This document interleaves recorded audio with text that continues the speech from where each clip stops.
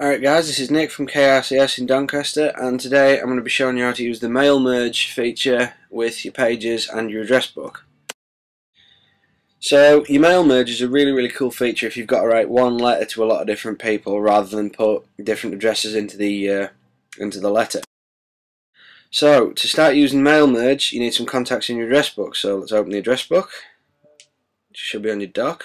If not you can find it in your applications folder so let's just open that. As you can see we've got uh, one contact in the, all the contacts. We've also got a group section as well. You can add contacts by pressing the plus button here. As you can see you can put first name in. So John Smith.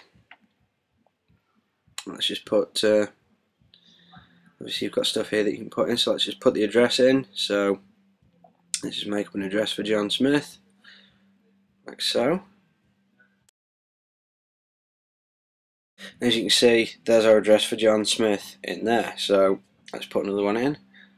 Let's uh, just add that. We'll do uh, we'll do Jane Smith this time, just for differences. So don't do what I did there. Don't make that mistake. Jane Smith. And then we'll just uh, go down at the bottom again. We'll add Jane Smith's home address.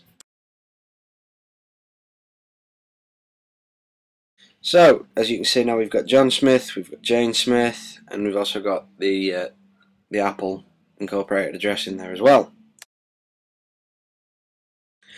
Okay, so now that you've got your addresses in, you can start writing your letter. So, obviously you need to open your Pages software, which comes with iWork, so which can either be found in your Applications folder, or if you've uh, placed it on your dock, you can find it there, so let's just open that. Okay, so these are all the letter templates we've got. We'll just choose one of them just as a quick example. As you can see, the, uh, the letter template loads up there. Just type some uh, type some random stuff in here just so you can see it in action. So just type your letter out. Now to get access to your mail merge feature, if you use Edit in your Pages section and then go to Mail Merge, click that he said it'll bring up this option here to use your mail merge with your address book. If you choose the address book, you can choose what contacts you use. So we'll just use all the contacts in our book for now because we haven't got separate groups, and we'll click merge. Okay, so what you'll notice is that Pages has actually created a second document for you with the uh, with the scroll bar down the side. This is the new mail merged document, as you can see. So you've got your addresses in there. If we just move them side by side, you can see got generic addressing now actually got personalized addresses in there as well. So we use the scroll down. Just on the uh, on the thing you can see there's three pages so we'll scroll down between the pages. You can see there's a there's one of the other addresses. So we've got John and Jane's addresses on those letters.